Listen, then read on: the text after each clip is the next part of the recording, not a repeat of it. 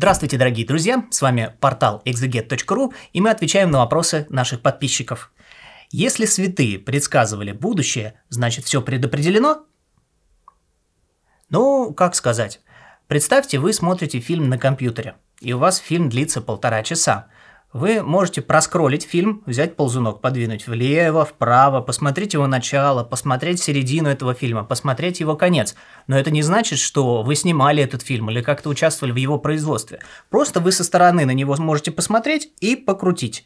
Вот примерно так же Бог относится к нашей жизни. Он находится вне времени и пространства по своему существу. Он это время и пространство сотворил.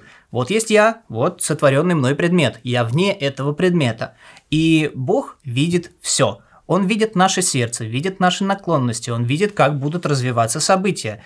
А, и он понимает, какие выборы в жизни мы будем делать мы и будут делать другие люди. И для него совершенно несложно понять, что будет происходить через 5 минут, через 10, через 1000 лет, через 100 лет.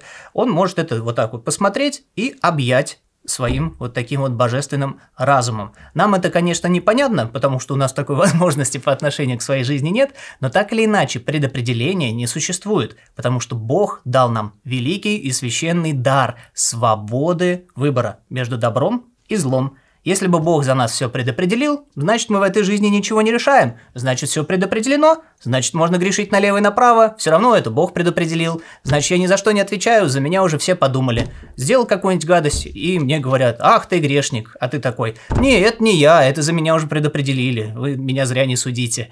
Вот, а все, у нас все наоборот. Есть свобода воли, значит есть полнота ответственности, значит есть выбор. А тот выбор, который ждет от нас Бог, это добровольный выбор в пользу любви, добра, света и Бога. Внеси свой вклад, оцени, подпишись и поделись этим видео.